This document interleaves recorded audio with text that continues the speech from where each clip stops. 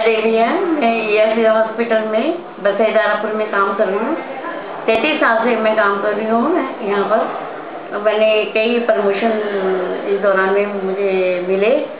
मैंने बीएससी भी इसी हॉस्पिटल से किया एडमिशन कोर्स भी मैंने यहीं से किया।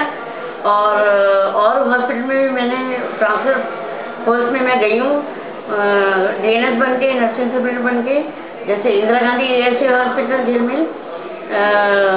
रोनी मैं बसी दारापुर में हूँ। मैं थोड़ा सा, हमारी जो माताएँ हैं, जो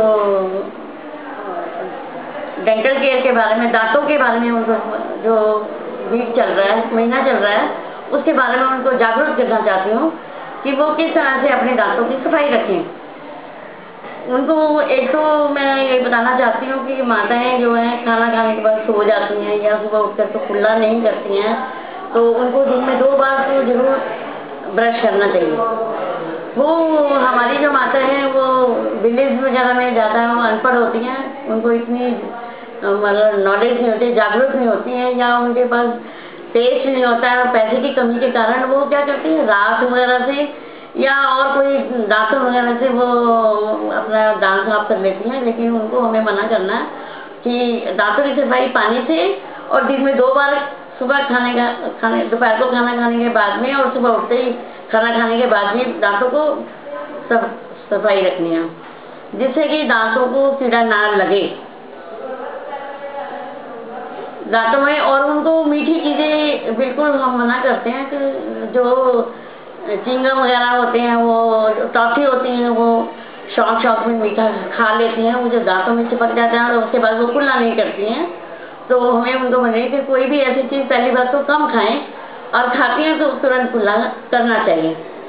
तम्बाकू उनको नहीं खाना चाहिए कई लेडीज़ हमारे यहाँ की तम्बाकू खाती हैं, पान खाती हैं, वो दांतों में फंस जाता है और वो फिर सफ़ाई ठीक से मेंटेन नहीं कर पाती हैं, नहीं रख पाती हैं। तो उनको पान तम्बाकू बीड़ी के लिए भी हम उनको मना करते हैं। इससे मना करने से हमें यह है कि हमारे दांतों की की, की सफ़ाई रहेगी। दांतों की सफ़ाई रहेगी तो हम कई बीमारियों से बच सकते हैं। जो पेट में बीमारियाँ हो जाती हैं कई बार अनाजेनिक की वजह से हो जाती हैं। कैंसर हो जाता है जो सारा हम तम्बाकू अंदर रखते हैं तो माउथ कैंसर हो जाता है। इसके बारे में मैं उनको थोड़ा सा बताया। और दूसरा पॉइंट ये है कि अपनी माताओं को ये भी बताना चाहते हैं कि वो सफ़ाई रखें। सफ़ाई, एक तो दांतों की सफ़ाई तो हो गई है। पर्सनल हाइजीन वो मेंटेन करें। डेली रोज अपना स्नान करें, जो भी पानी गर्म, ठंडा उनको मिलता है।